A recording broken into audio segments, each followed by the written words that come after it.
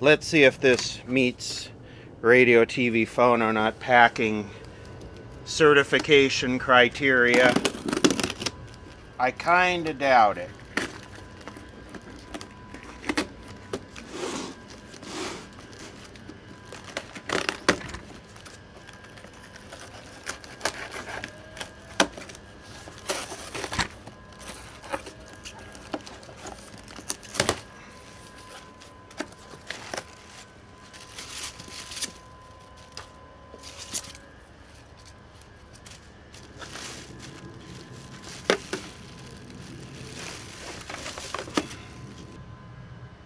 This is a vintage 1960s E.F. Johnson or Johnson uh, 23 channel CB radio. It's a Messenger 123. And this is the first generation. This is the germanium transistor based unit. And I'd been looking for one of these because this is one of the very first CBs I had as a kid. Uh, I remember I was on my way to school and there was a garage sale and I stopped by the garage sale and they had one of these with the antenna for five dollars. Well, I bought it and at the time CB was actually kind of still being used and um, I got to playing with it mostly listening. At that time a license was not required. It used to be a license required for CB but at that time when I got it there was no license required. And unfortunately I ended up hooking it up backwards.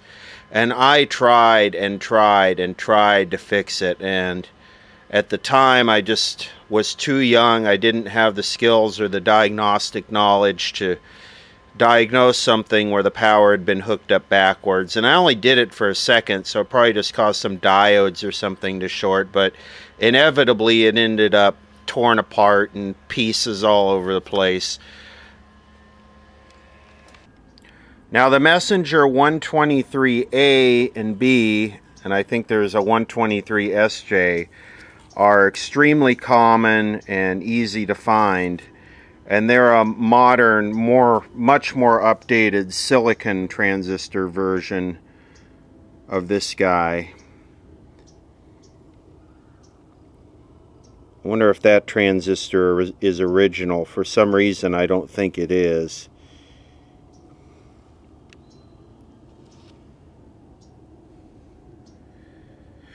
The problem with these old Messenger Johnson radios is these crystals all go bad.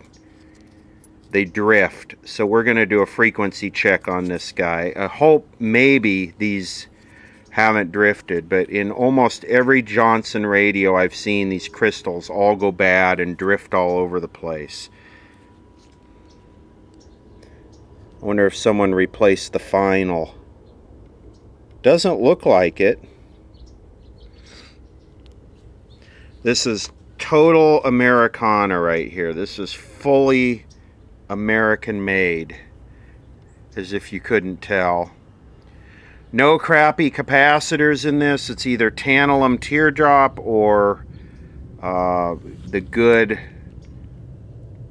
electrolytics that seem to last forever.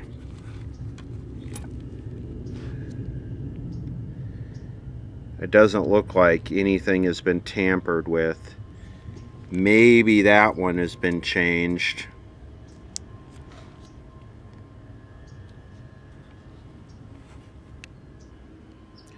And not many people use CB anymore. Maybe some of the truck drivers still have it. I know some of the middle-age crisis off-road Jeep boomer crowd use it. But FRS is so superior in range and noise.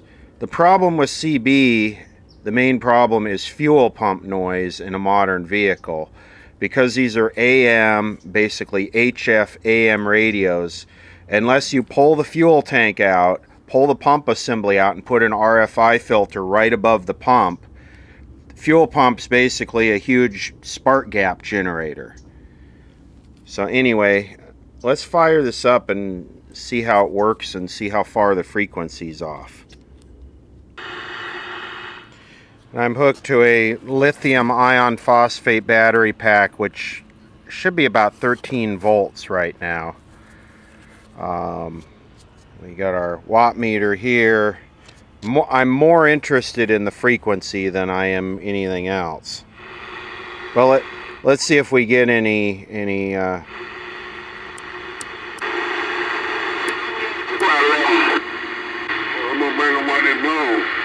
I'm gonna bring them to the while they blow in a few minutes. They got they got frequency over here, so. This is Mumble Rap Communications live right here. Yeah, I ain't concerned about the one with the wheels. That other close. That, that other one, that little, little bitty one. You All you got to do is put a beat to this, and you got to hit single. Hey. Club banger. Hey, uh, you might well come on over here, Cotton Big Hill breakfast with me, man. See? You got the lead there, right? Little thing that comes about 100. So let's see. That's it. Channel 6. That's the only one doing anything. The Mumble Rap Communications Network. Okay. Really? Like one watt? Oh, I'm sorry. Two watts. Hello. Hello. Oh boy, it goes up to like two and a half watts.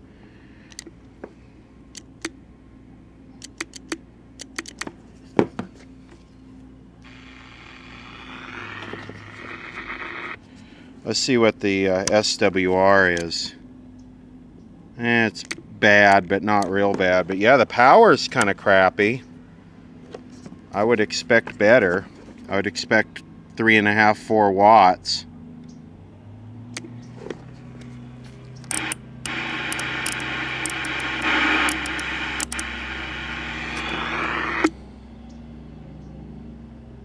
I'm on 5 watts, so I'm on the lowest scale.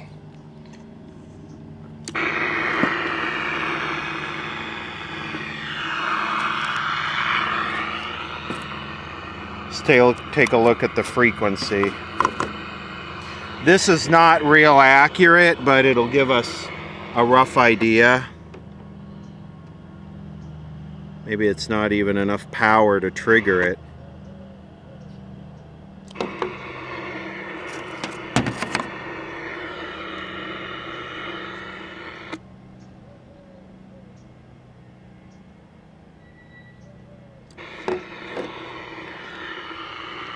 Okay, here we go. I had the range on the wrong setting. So channel 1, it's running about 26.965. That's right on. 26964, 26965.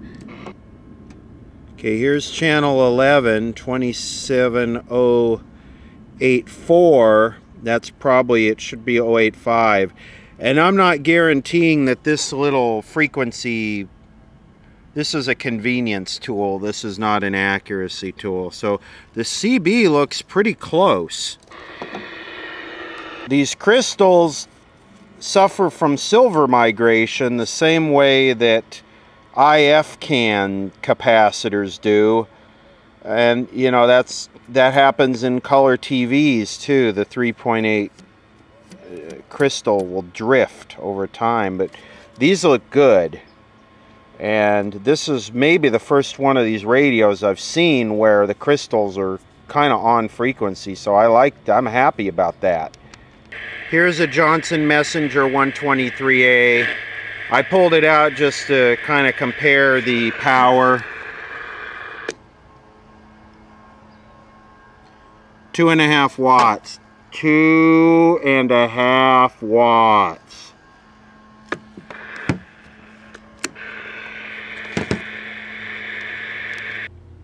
Looking at this, it looks like I need to add 30% to uh, a frequency lower than 100 megahertz. So that still would indicate that the output is kind of low and that's why I compared it to the other radio. So plus plus 30 percent, which is not that much. Let's do a frequency comparison to the 123A. Yeah, it's right on. 26965. So the older one seems to be a little bit low. Not enough to really matter, but it's low.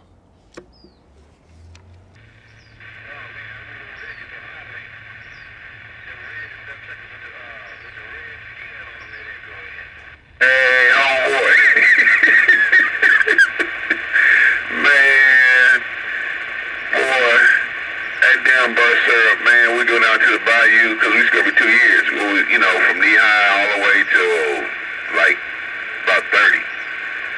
And, uh, man, my brother got hooked on that syrup, man, and your mom's pops, I'm the only one with like, give me log cabin. It's highly deep intellectual discussion. This is why nobody uses CB radio anymore with an IQ above 50. Here's a side by side of the 123 and the 123A. This is the 123 germanium based early solid state. This is the 123A.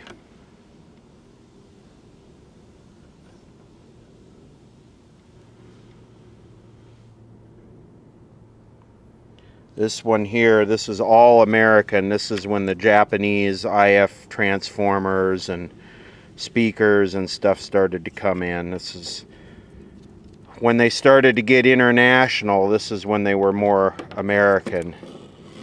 And you can kind of tell because this one didn't brag about being made in the USA, where this one had the made in USA sticker on the back of it.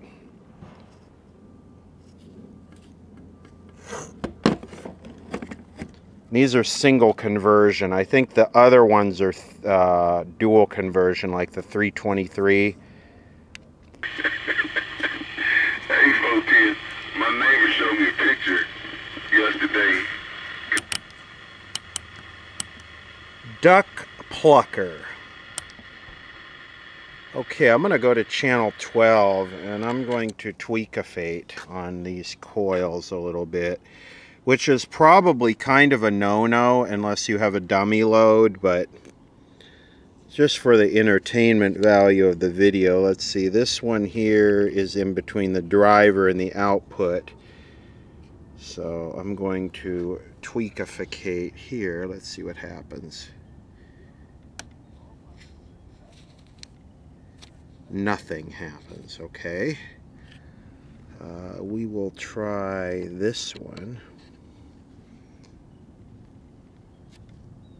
Appears to be st stuck. Okay, we're not going to do anything with that. Let's try this one. Oh, down a little bit.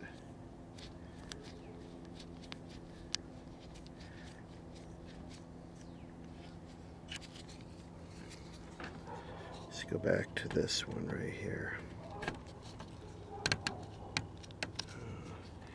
I can't tell if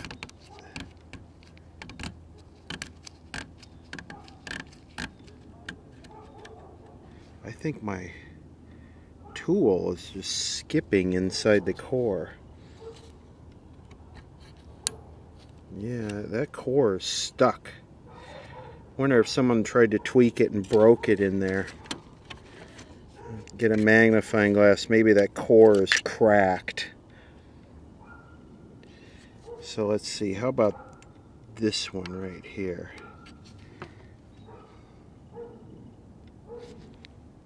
making the dog bark whatever it is. This one is this one is stuck too. There it goes. Nothing. Put it back where it is. Disappointing yeah this is between this is the pre-driver so this is the transformer between the pre-driver and the driver this is the driver. This is the transis transformer between the driver and the final. And then these are the these two right here are the final Antuna Jesus at channel 6 rubbing out rubbing out rubbing on my ability to speak the English language. These are the the ones that tweak the I, I give up.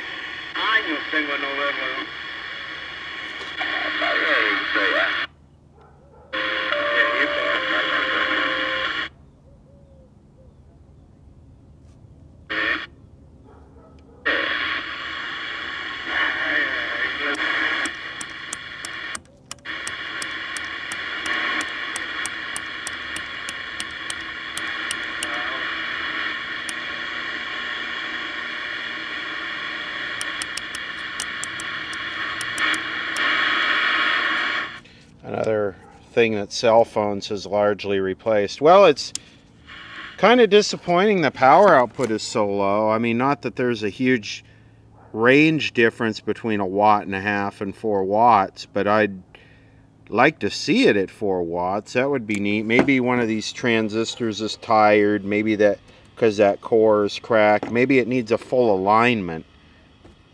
Could get the alignment instructions and do an alignment on it but I'm not going to talk on it anyway so I'll just put it in uh, put it in the four-wheel drive and just keep it so I can listen to the boomers talk about their prostate medication. And what part on their Jeep broke. Check one two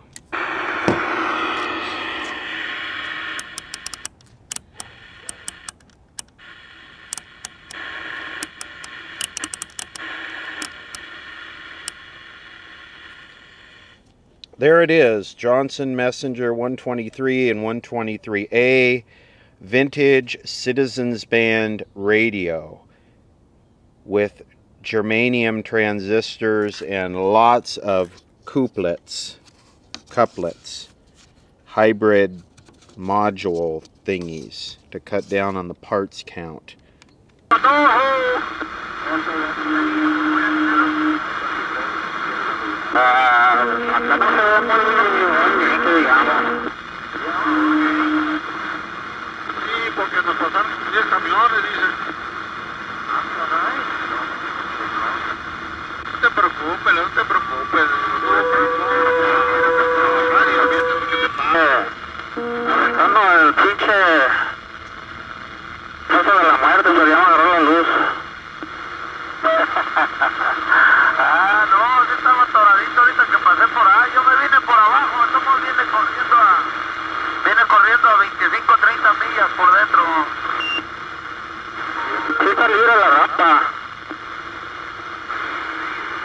Sounds a slightly off frequency to me, but you know, how could you really tell with the content? But eh, I don't know, it just kind of has that off frequency sound. And I know these crystals drift for a fact, but these are close enough to be usable as far as listening.